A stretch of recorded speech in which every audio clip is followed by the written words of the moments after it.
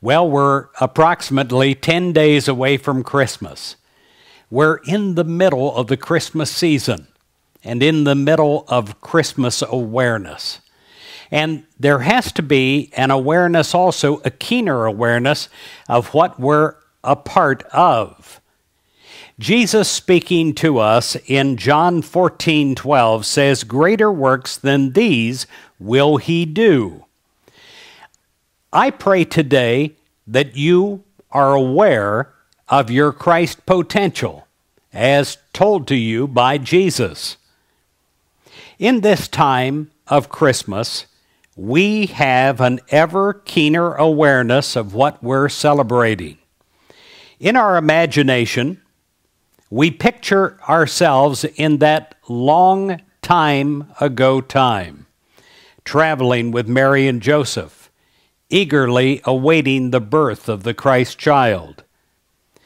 Had we been there, we would not have been aware of the message that the about to be born babe was to bring to the world.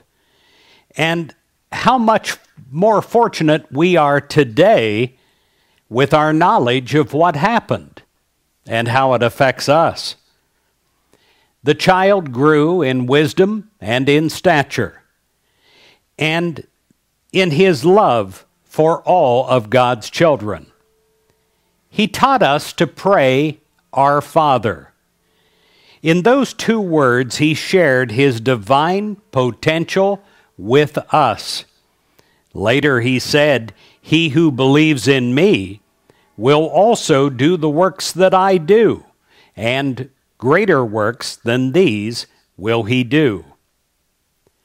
Now, most of us are able to join Jesus in his prayer of our Father. We accept this relationship.